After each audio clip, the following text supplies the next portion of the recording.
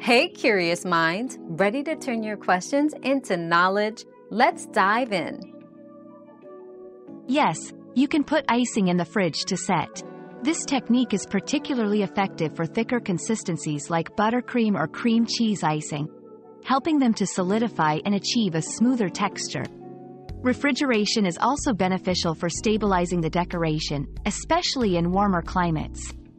However, avoid refrigerating for too long, as it can dry out or harden the icing excessively. A few hours should be sufficient for most types. Another mystery solved, but many more await. Keep up with our daily discoveries by subscribing and turning on notifications.